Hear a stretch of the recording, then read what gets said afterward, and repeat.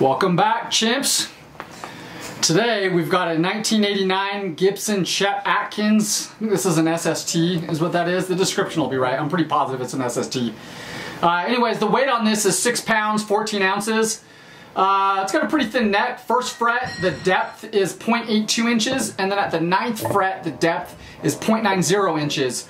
Uh, it's got the original pickups, ebony board. These things are pretty rad, man. Yeah. I like them. Don't see no pickup. You can't see it, but it's there. Yeah. It's magic. It's it.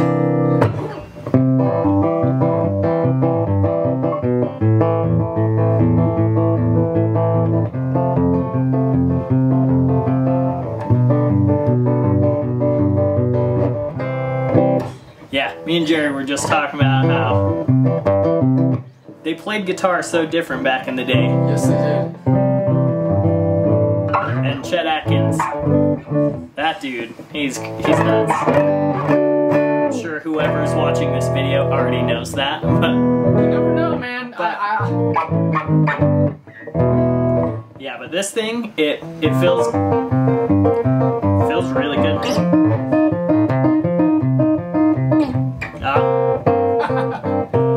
yeah, but it feels it feels really good. Uh, as far as playability, great. The neck size is that bigger than a Les Paul, or or s- s- it feels. it's got a pretty good taper to it. So up at the top, it's 0.83, which I don't know if you heard me say in the last video. Like the thinnest Gibsons will have like a 0.83 up at the up at the first fret. Uh, so yeah, it's pretty thin.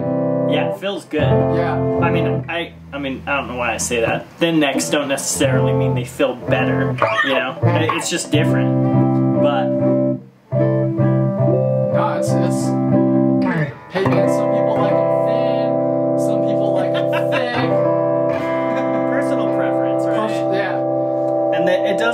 the side here has a volume control, treble control, and, and bass control. So that's a bass turn clear down. Yeah, so quite a bit brighter.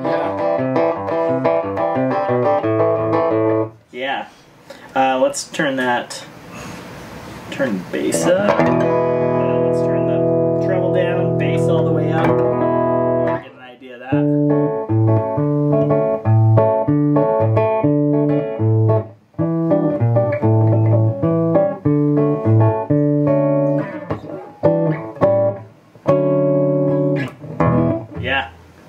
A lot of tone variation.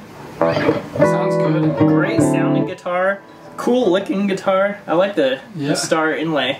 Right on. It's cool. Feeling good. All right, now that you've seen and heard Matt play this thing, let's get up close and check out the condition. I give this guitar an eight and a half out of 10. It's got some scratches, uh, dings, and some finish checking throughout. Let's get up close and check it out. So right off the bat, we can just kind of see some finish checking there. And right around that bridge, some light scratches. There, just see lots of little finish checking on the top. And we've got some finish checking up close right around the, you can kind of see it's, it's, it's where the seam is. It's pretty common. It's just in the clear coat.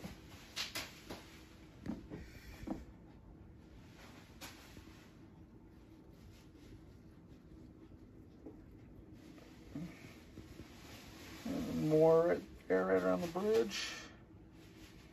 Let me see the back of that bridge. Okay.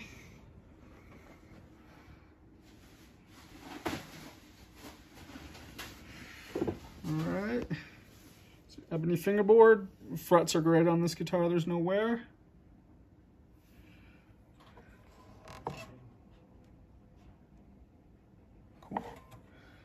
Front of the headstock, light scratches, but I mean, looks really good. And let's check out the back.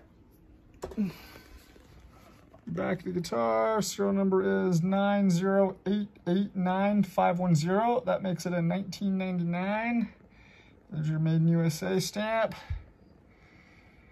Back of the headstock. Looks clean. There's no cracks or any of that stuff. Uh, let's keep scrolling.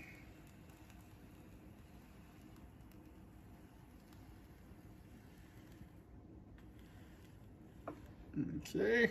A little bit of wear on the back. Just kind of some scratches and dings.